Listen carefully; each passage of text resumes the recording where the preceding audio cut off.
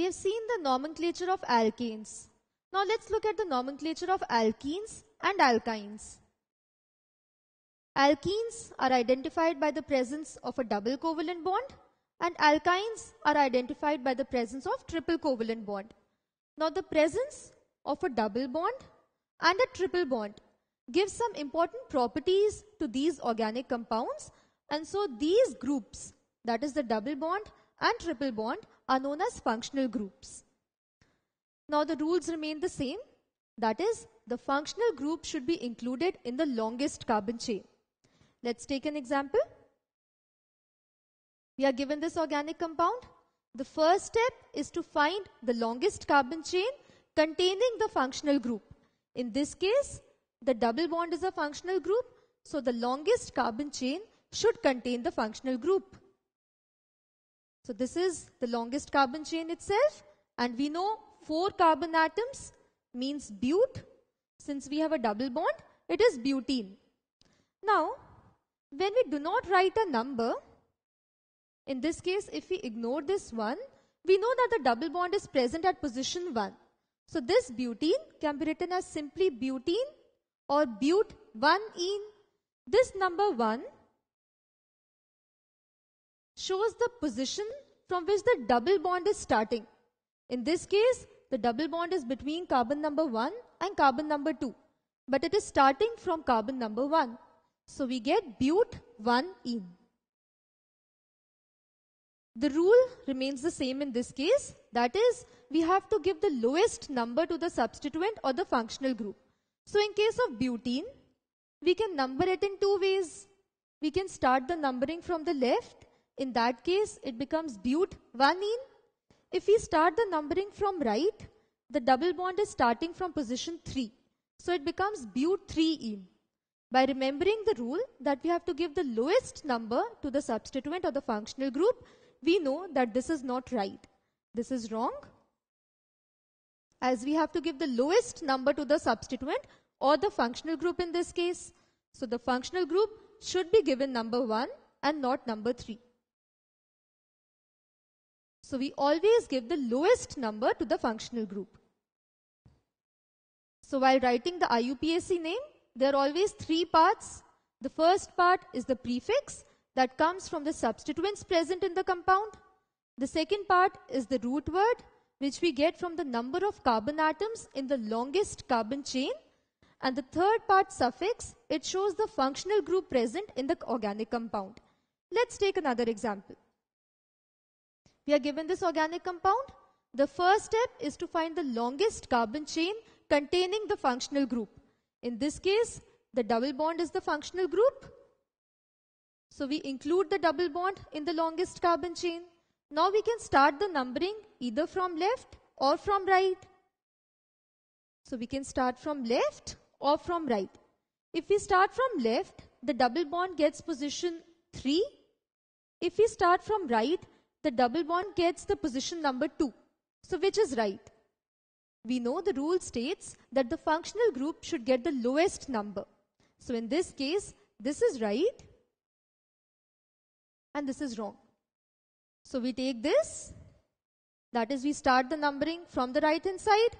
Now we have to give the word root. The word root comes from the number of carbon atoms in the longest carbon chain. We have 5 carbon atoms. 5 carbon atoms means pent so this becomes pent. The double bond starts from position number 2. So we get 2. And to get the suffix, we have to look at the functional group present. Since the double bond is the functional group, so the suffix is ene. Since it is an alkene. So this is the IUPAC name of this organic compound. Let's take another example. We are given this organic compound and we have to find its IUPAC name. So the first step remains the same. We have to find the longest carbon chain containing the functional group. In this case, the double bond is the functional group. So this is the longest carbon chain containing the functional group. Observe, if we start the numbering from left, we get 1, 2. The double bond gets the position number 2. If we start from right, we have 1, 2, 3. The double bond gets position 3, but the substituent gets position number 2. Now we have we know that we give the lowest number to the substituent or the functional group. In this case, if we start from left, the functional group gets position number 2. If we start from right, the substituent gets position number 2. So how do we start the numbering? We know that the double bond is a functional group and CH3 is a substituent. So while giving the lowest number, the functional group gets a higher priority. Since we give the higher priority to the functional group, so we start the numbering from the left hand side. So when we number it from left, the double bond, which is the functional group in this case, gets a higher priority, so, so it gets a lower number. So we name number it 1, 2, 3, 4, 5. The first step is to write the prefix. The prefix comes from the substituent we have only one substituent that is methyl present at position number 4. So we get 4 methyl. Now the second part is the word root. The word root comes from the number of carbon atoms in the longest carbon chain. In this case, we have 5 carbon atoms. 5 means pent. So this becomes pent. Then we look at the position of the functional group. The position of the functional group is position number 2. And in order to name the suffix, we look at the functional group, which is the double bond. So we, we know it is an alkene. So the suffix is ene. So this is the IUPAC name of this organic compound. We are given this organic compound, we have to find its IUPAC name. The first step remains the same. If you look here, we have a triple bond. This means it is an alkyne. So the triple bond is the functional group here. So the longest carbon chain should contain the triple bond. So this is the longest carbon chain. We start the numbering such that the functional group gets the lowest possible number. If we start the numbering from left, the triple bond gets position 1. If we start the numbering from right, 1, 2, 3 the triple bond with, will get position number 3. So in order to give the lowest number to the triple bond, we start the numbering from left. Now we see there is only one substituent present, that is the methyl group present at position number 3. So our prefix becomes 3-methyl. For the word root, we see there are four carbon atoms in the longest carbon chain. 4 means but, The triple bond starts from position number 1. So we give the number 1. And in order to name the suffix, we look at the functional group, which is a triple bond. We know a triple bond means it is an alkyne. So the suffix becomes "-yne". So for alkenes, we use the suffix "-ene". For alkynes, we use the suffix "-yne". So this is the IUPAC name of this organic compound. Let's take a question here.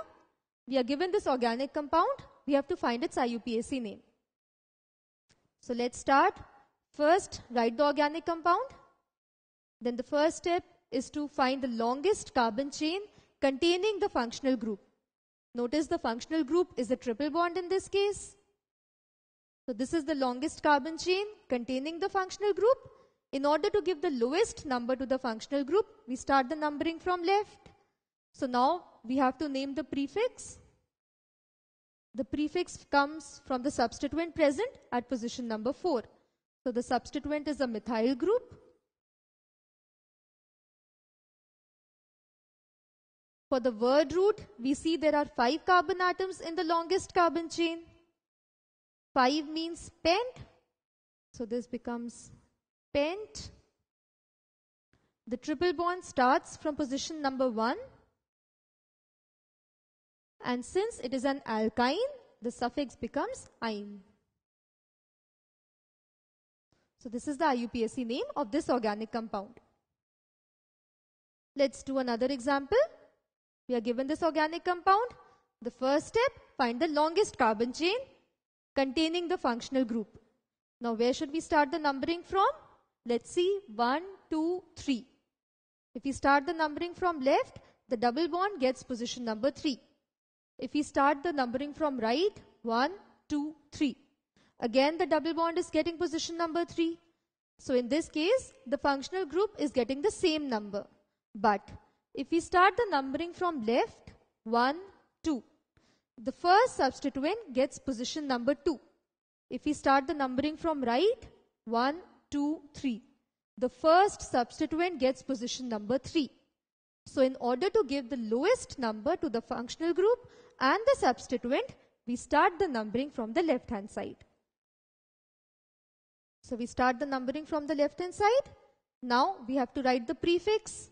We have two substituents, methyl and ethyl. We know while arranging the substituents, the rule says that we always arrange the substituents in alphabetical order. So we have ethyl, the E of ethyl comes before the M of methyl. So we first place ethyl and then methyl. So we get 4 ethyl, methyl, So this is the prefix for this organic compound. Next comes the word root. The word root comes from the number of carbon atoms in the longest carbon chain. We have six carbon atoms. Six means hex. So it becomes hex. The double bond is present at position number 3. And we know since there is a double bond, this means it is an alkene. So we use the suffix "-ene". So this is the IUPAC name of the organic compound. So keep in mind the rules. That is, the, we give the lowest number to the substituent or the functional group. And while naming an organic compound, there are always three parts. The first is the prefix, which is given to the substituents. Then we have the word root, which comes from the number of carbon atoms in the longest carbon chain. And then we have the suffix. This comes from the functional group which is present in the given organic compound.